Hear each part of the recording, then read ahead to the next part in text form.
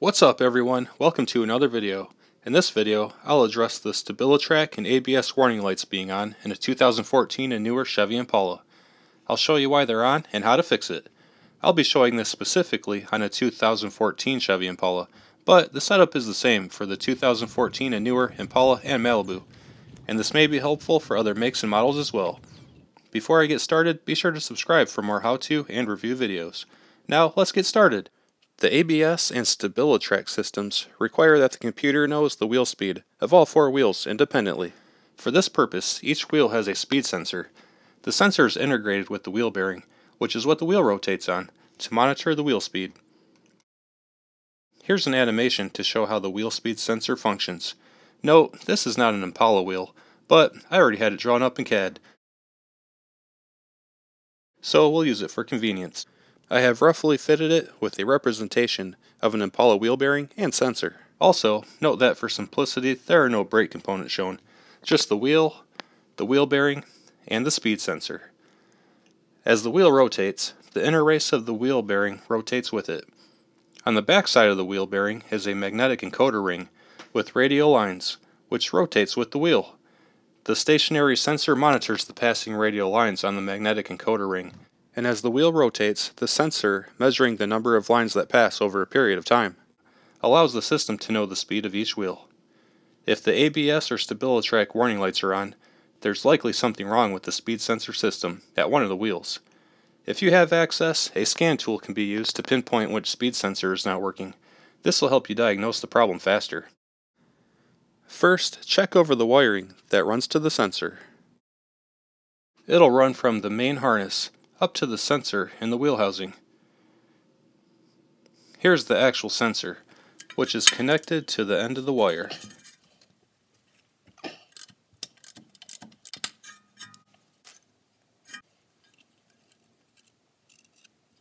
If a damaged or broken wire is identified, this is likely the issue, and it can be replaced. If there are no issues with the wire sensor, move your focus to the magnetic encoder ring on the inside of the wheel bearing. You may be able to clear the warning lights by cleaning the encoder ring. It may be packed with dirt or debris. A couple years ago, when the warning lights were on, I jacked up the car and sprayed the encoder rings down with cleaner, then wiped it down as I rotated the wheel. The little black piece is the sensor. Note that brake cleaner is easy go-to, but brake cleaner is bad for rubber and plastic. I use the Mass Airflow sensor cleaner because I had it laying around. It's safe for electronics and plastic. Seemed like a better choice to me. I think it's rare that this will solve the issue, but it worked for me once. This time the issue is a damaged encoder ring on the wheel bearing, which is likely the most common problem. Let's remove the wheel bearing.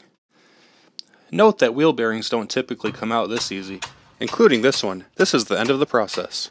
I have endured many sledgehammer marathons with wheel bearings. However, for the last couple, I've used an effective method to remove them easily. As a result, this one was not a battle. I'll post up a bearing removal video in the future. Looking at the encoder, a large portion of it has broken off, which is why the sensor cannot detect the wheel speed. And the remaining portion is in rough, deteriorated condition. Here's the new wheel bearing. My personal preference is Timken. They have been making bearings for a long time, and I have installed 8 or 9 Timkens with no failure so far. Here's the encoder on the new wheel bearing. Looking good. Now let's get the new wheel bearing installed and get everything buttoned back up. Safety first. Always support the floor jack with jack stands. I used two to overachieve. All set. Time to take it for a ride. The ABS and StabiliTrak warning lights will turn off on their own once the problem is corrected. No reset tool or procedure is required. And boom, there it is. Warning lights off. Problem solved.